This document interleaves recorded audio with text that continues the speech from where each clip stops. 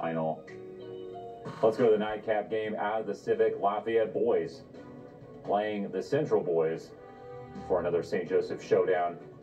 Let's go to the first quarter, no score. Pass up ahead to Shaddai Ndemboma. He goes into the teeth of the defense for the lay-in for the game's first points.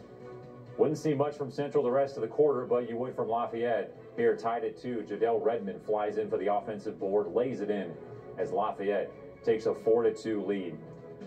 Later in the first, Lafayette up 8 to 2. Redman again goes into the paint, gets the floater to fall. He improves the Fighting Irish lead to 8 points.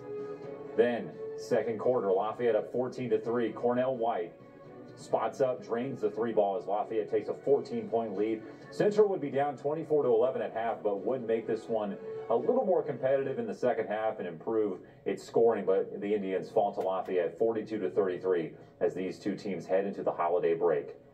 Well, Tyler Fenwick said his first year with Missouri.